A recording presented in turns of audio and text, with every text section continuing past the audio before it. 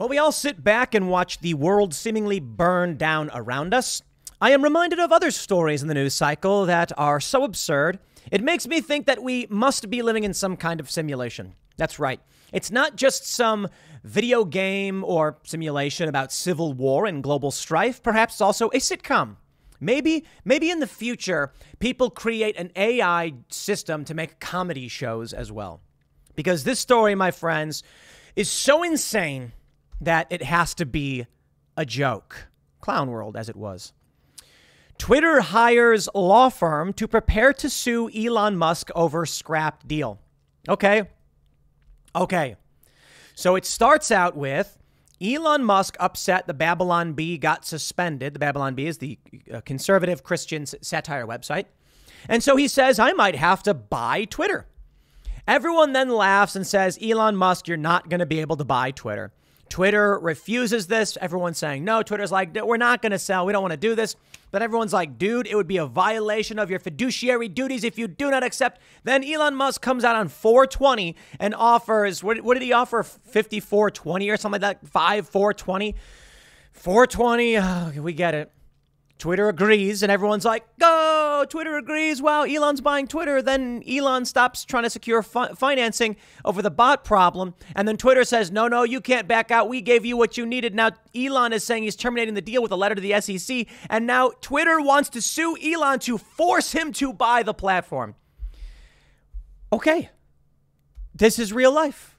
Just goes to show you, all my younger listeners out there, adults really don't have any idea what they're doing most of the time. Now, the question is with Elon Musk's tweet about this, he has a couple, is this 4D chess or is it a cope?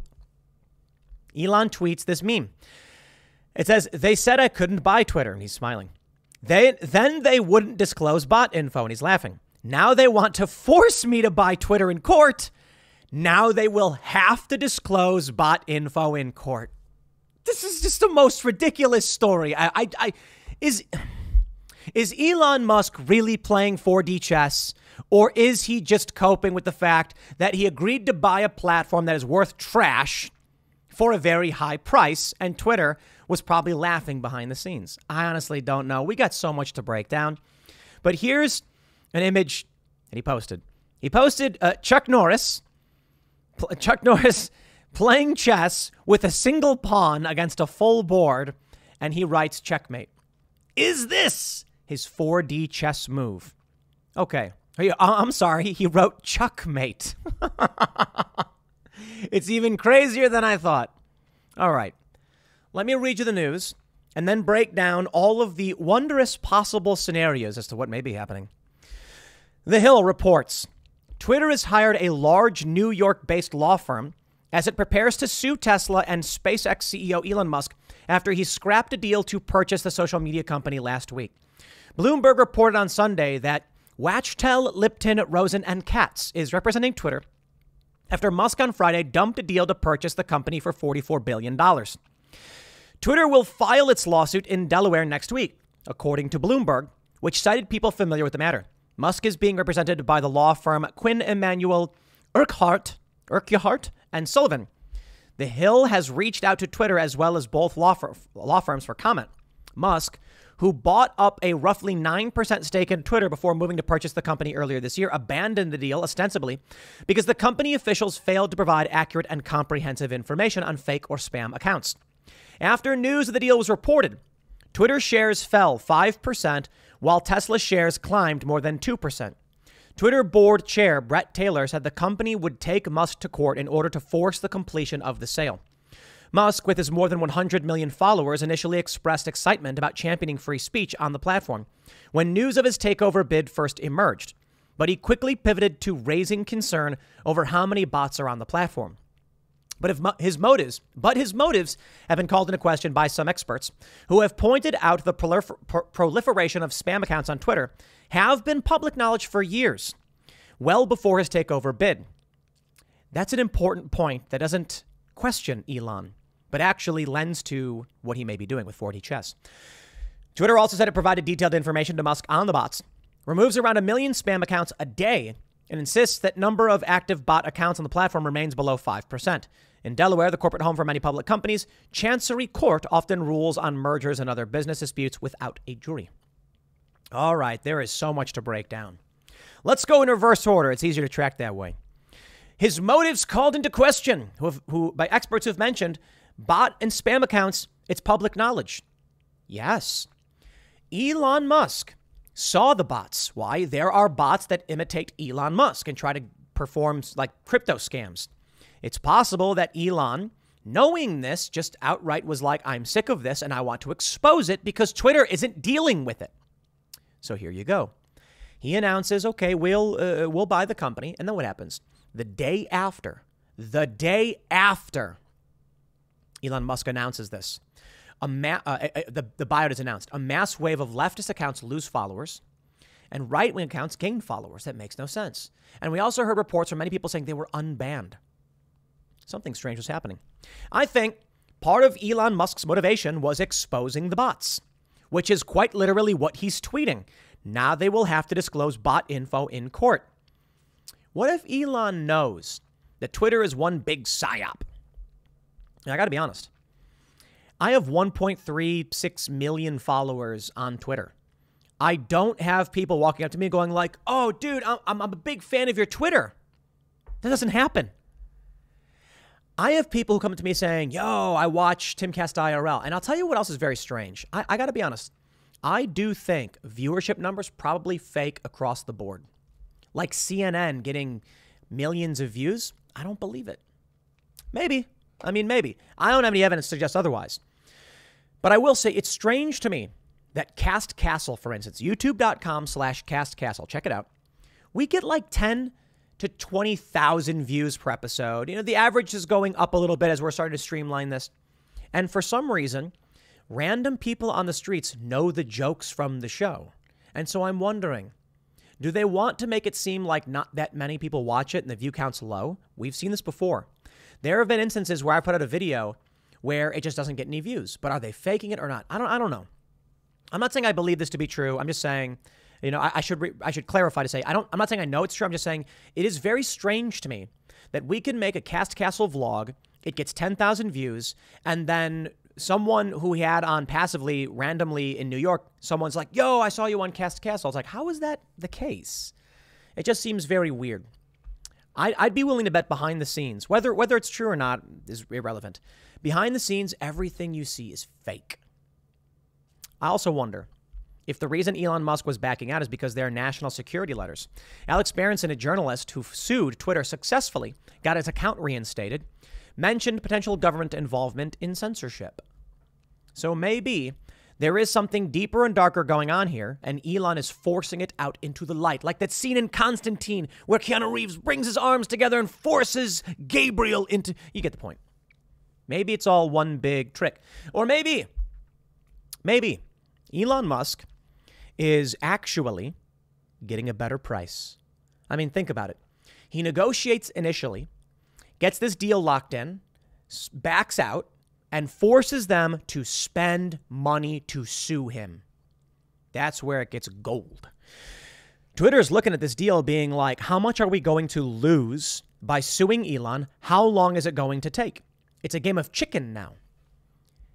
Lawsuits typically end in settlements.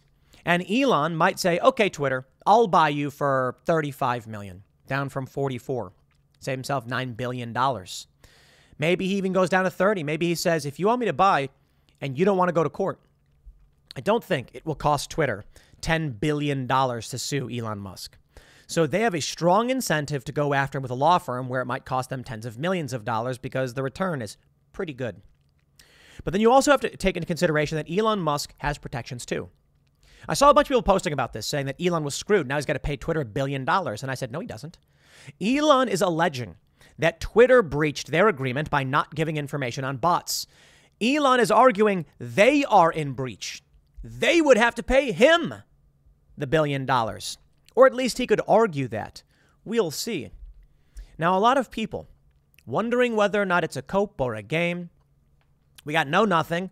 Shout out. He says Reddit is getting worse at making memes and it's making Elon Musk nervous. Why do they think this? Why do they think that Elon Musk would be nervous about this? Let me tell you. This is the richest guy on the planet. He did not become the richest guy on the planet by being a moron. I'll also tell you this I was looking at electric cars and I was wondering why anybody would want to buy the Model S Plaid. It's so expensive. And then I looked at like the e Tron and the Mercedes EQ something or other, and I was like, wow, Tesla is better. Crazy. No, uh, like, like twice the horsepower. Elon knows something. Elon's got something going on. Now, some have argued he's screwing us over. That's right. I own like 20 shares in Twitter. That it's all one dumb game. He's manipulating Twitter to make a quick buck. He bought 9%. No, I don't believe that. I don't believe it for a second. Think about it. Elon Musk owns 9%. If I were to make a gamble, I would say Elon's playing 4D chess the whole way through. And I'll tell you why. Elon has long talked about a recession. Other people have pointed this out. Elon was predicting a recession was coming years ago. Then this year, he buys a 9% stake in Twitter. If Elon thought a recession was coming, why would he put 9% uh, stake in Twitter, knowing it was going to collapse in value, unless this is all part of his 4D chess. Think about it. Elon Musk buys 9%. He then makes a move to buy the company. They might accuse him of screwing over the investors, but he will say, I'm also a shareholder. I would be impacted all the same way. Interesting. If Elon did not own a portion of the company and then did everything he did, I'm sure a lot of shareholders would be like, You're screwing over the company, you're costing me money. And he'd be like, Well, you know, what do I say to that? It's still technically true. I mean, they, they could still sue him for this. I think he is being sued. I think, I think, actually, I think, uh, I, yeah, someone from Twitter, a Twitter shareholder. But he's going to argue, I did not do anything to screw over anybody. I also have shares in the company. Him buying it on 520 is also suspect. It is in, it is indicative of either a madman who has no idea what he's doing or someone who's planned this long in advance. And again, I really doubt the guy who said a recession is coming two years ago dumped his money into a company just to lose it. If he knew a recession was coming and, it, and it's here, then certainly understands the next layer of putting his money into Twitter. I think it's all part of the game. I think I'll, I'll put it this way. I don't want to. I want. I don't want to be overzealous. I lean towards Elon Musk knows what he's doing. I remain skeptical. I think there's a strong possibility this is a cope. Elon Musk said he was going to buy Twitter. He got some information he can't reveal, and he went, Whoa, this company is trash. But he agreed to the purchase price. Maybe. Maybe not. I'd imagine they'd have, show, they'd have shown him stuff. And, and maybe it's, it really is as simple as it is on the surface that Elon went to buy the company. He said, Now give me the info on bots. They said, No. He went, Yo. Then I'm out. And they said, We're suing you. It could just be one thing leads to another. Here's a really creepy picture of, uh, of Elon, I guess. Pranay Pathole says, So this was all part of your plan. I don't know. The left, for some reason, gives them the, are, are going negative, and the right is going positive.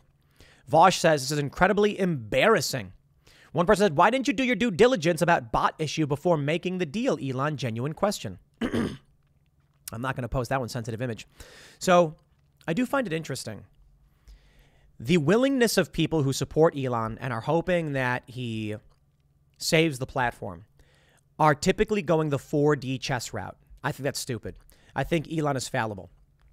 I think he may have made a big mistake. However, I don't understand why Elon would do the things that he did. You don't bumble your way into being the richest man on the planet. The bigger question, I suppose, is what does this mean for censorship? Dave Rubin was recently suspended. Jordan Peterson was recently, recently suspended. And a lot of people were hoping that Elon Musk would be the one to come in and solve the problem. Some people said that Dave and Jordan should remain banned until Elon comes in and releases them. Dave deleted his tweet, which was a screenshot of Jordan Peterson's tweet. Jordan Peterson is refusing, saying he'd rather die. I don't know. I, I don't know what to tell you. Will Chamberlain, with the spicy take said, Elon Musk will buy this platform whether he wants it or not. You don't just back out of a multi billion dollar contract. So, here's what I think I think Elon is going to get a discount on Twitter and he's going to own it. There is a threshold by which Twitter says it's not worth it to keep going to war with Elon. Elon is going to have to buy the platform. And here's the other thing what happens if Elon says, sorry, don't have the money? Elon went to financiers. And then about, about a month ago, I think it was, the conversations stopped. He stopped trying to get the money. Twitter can come to him and say, You have to buy it. And he'll go, I can't. Think about the position he's put Twitter in. Twitter now wants him to buy it, but he might not be able to, so he'll get it at a premium rate. Ultimately, what does this mean for us? Donald Trump came out and said that Elon Musk is a scam artist and that he wasn't going to buy Twitter, and that may be the case. Meanwhile, the left calls Donald Trump the scam artist, but Donald Trump did launch Truth Social, and Truth Social actually has some pretty good engagement. So let's let's let's let me say this, wrapping up on the Elon subject before we get into the censorship stuff and the bot stuff. Whatever, man. I don't care about Twitter. Elon could save it or not. Most of you probably don't care either. But let me talk to you about bots. I think Elon's right. Donald Trump's Twitter account had what? Was it like 100 million or something? I don't know how many millions of followers Trump had, but he had lot, tens of millions at the very bare minimum. On Truth Social, Donald Trump has 3.4 million followers. You see, he controls the flow there. Shouldn't he have more followers? 3.4? That's not a whole lot. Certainly his hardcore supporters would follow him, and they did. Where's everybody else? You mean to tell me that they just decided they didn't care about following the president even though they could? Take a look at Trump's engagement, the responses and retruths, they call it. Substantially high, higher than Twitter, relative to the amount of followers. That alone, I think, exposes it's all a big lie. Back in the day, 10 years ago, digital media companies were doing this thing called ad, what do they call it? It was like uh, ad rights sales. Here's how it works a company will have a premium brand. Hey, timcast.com is a premium brand. Go to timcast.com and become a member to support our cultural endeavors. We got Tales from the Inverted World. Man, that show is just getting better and better. I'm super excited for it. Uh, it's a premium brand. Uh, we don't get that much traffic relative to these click farms, though, because we're about premium. We're, our traffic is, we actually would prefer it to be lower, but members. So we're nowhere near as big as the Daily Wire. But ideally, what we have is you know, uh, instead of getting 100,000 views on an episode, I'd rather get 20,000, but each of those 20,000 pays 10 bucks a month to watch the, that content premium. There are a lot of websites that have no premium content. They would do, they, you, know, you ever see those articles where it's like, you know, 25 celebrity botched plastic surgery. And when you click it, it shows you one image and says click next. That turns one, one story into 25 clicks. They then sell the rights to those clicks to a premium brand. So let's say you have a premium brand. Uh, we'll call it uh, The Voice. How about that? Voice. What call it? Voice. And they get 10 million views per month. 10 million, not that much. A voice is uh, uh popular, and an ad could sell with like a $40 CPM. But 10 million views, not really enough. So what they do is they go to these click farms and say, We want to buy the rights to your traffic. They then put the, those numbers in their voice network. They then tell advertisers the voice network reaches 40 million people.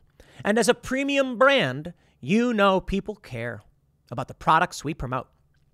These people think that a voice viewer is watching all of their videos, uh, seeing their ads, when in reality, only one in four turns out to be from voice. The rest is some garbage click farm. It was a big scandal.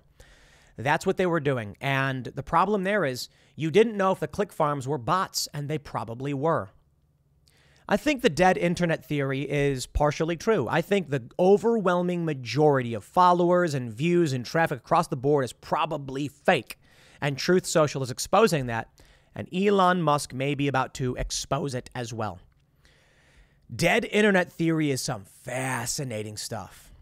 Really take a look into it if you haven't already. The idea that the internet is just it's run, run by bots to manipulate the public and make money and things like that, corporate and political entities. So we'll see what Elon truly uh, is going for and if he does accomplish anything. But I'll, I, will, I will end by saying this. Over at timcast.com, we're going to be covering a lot of these stories, like the dead internet theory. Not only do we have Tales from the Inverted World, Shane Cashman's deep investigation so far into the lost Confederate gold. Dude, these episodes are 40 minutes long, up to an hour long. I can't believe the team, the hard work the team is putting into making this show. And in order to sustain it as good as it is, we need members. So we're going to be moving Tales from the Inverted World as a Timcast exclusive for the next episodes. I think there might be 10 more episodes or 11 more episodes. And they're 40 minutes to an hour long. We're working on our, our mobile app, our TV apps. So we're gonna we want to be a streaming service. We want to rival Netflix and Disney Plus, and we're gonna do it. We are doing it. Tales from the Inverted World is truly incredible, but I will add, we're also launching another show to go alongside it. This new show, we're building a studio in a haunted house. Legit. I really mean it. Haunted house is a bit of a nebulous term. It's an old house from the 1800s that looks rather decrepit. And we're going to be putting a studio in it and leaving it rather decrepit. And uh, it's really cool, actually. And then we're going to have by candlelight, hopefully we can do it by candlelight. Maybe we'll do like faux candlelight. Shane having conversations about these conspiracy theories, you know, and it'll be everything. It'll be flat earth sometimes, but I really want to focus on like the unexplained, the paranormal, things like dead internet theory, creepy things, simulation theory. That's going to be a weekly show exclusive on timcast.com. I'm really excited for the stuff we're launching because I'm a huge fan of that stuff. We've got music projects and everything. Anyway, Go to timcast.com if you want to support us. As for Elon Musk, I guess we'll just have to wait and see if anything does come out of this. Good luck with that lawsuit, brother. I think Elon's going to win in the end. I'll leave it there. Next segment's coming up at 4 p.m. over at youtube.com slash timcast. Thanks for hanging out, and I'll see y'all then.